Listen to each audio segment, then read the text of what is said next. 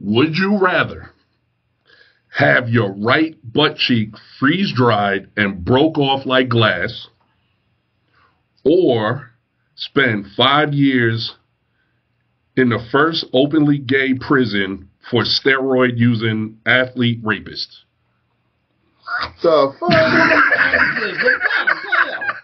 Yo, that's what makes it dope. That's, Openly gay that's artistic, dog. Instead openly gay prisons for athletic bodybuilders. Athletic on rapists. steroids.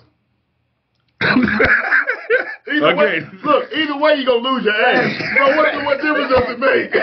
for grabs. yeah. well, one's for life. the other one is just five years. No, You ain't gonna have no ass after that. you, you're fucked up for life in that Yeah. situation too. Yeah.